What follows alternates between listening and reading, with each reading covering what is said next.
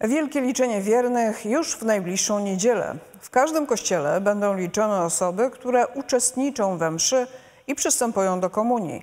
Jak to będzie wyglądało i ile osób deklaruje, że są katolikami, o tym Paweł Jędruśk.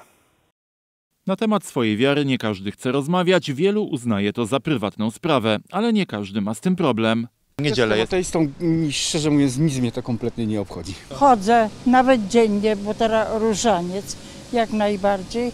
No i to co powiem, odsuwają się ludzie od kościoła jednak. Tam starsi to chodzą, ale z młodych to mało. Chodzimy do kościoła i bardzo dobrze, niech liczą. Ilu w rzeczywistości jest katolików w województwie? Brak precyzyjnych danych. Pewien obraz mógł dać spis powszechny, który odbył się w 2021 roku. Niestety wyznanie stanowi dla statystyki niezwykle trudny przedmiot badań, choćby z tego względu, że należy do bardzo wrażliwego i intymnego wymiaru życia jednostek i społeczeństwa. Jeżeli chodzi o Narodowy Spis Powszechny w 2021 roku, który się odbył, to y, osób w województwie śląskim, które udzieliły odpowiedzi na pytanie o wyznanie, było y, 3 437 089 osób.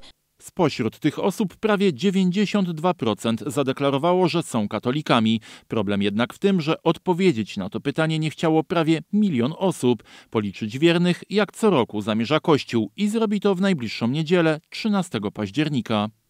Wygląda to tak, że najczęściej ministranci, służba liturgiczna, bądź też y, ludzie zaangażowani w parafii, często młodzież, y, stoją przy wyjściu z kościoła lub przed mszą, bądź też po mszy świętej, no i liczą po prostu wchodzących do kościoła. Jeżeli chodzi o komunię, to najczęściej są to ministranci. Takie liczenie jest co roku też okazją do odpowiedzi na pytanie, czy liczba wiernych z roku na rok rośnie czy spada. W tym roku w regionie to pytanie zyskuje duże znaczenie, szczególnie po wydarzeniach, które miały miejsce w diecezji sosnowieckiej. W Polsce w ostatnim czasie mamy do czynienia z takim istotnym przesunięciem, jeżeli chodzi o praktyki religijne, od takich praktyk y, zwyczajowych, tradycyjnych, w stronę takiego bardziej refleksyjnego, świadomego uczestnictwa w nabożeństwach, świadomego przeżywania swojej religijności.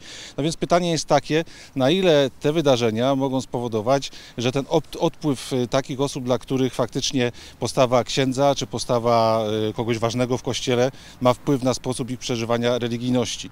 Myślę, że może to dotknąć przede wszystkim osób młodych, które gdzieś poszukują swojej ścieżki życiowej. A według danych z 2022 roku to właśnie diecezja sosnowiecka jest jedną z tych z najmniejszą liczbą praktykujących wiernych w kraju.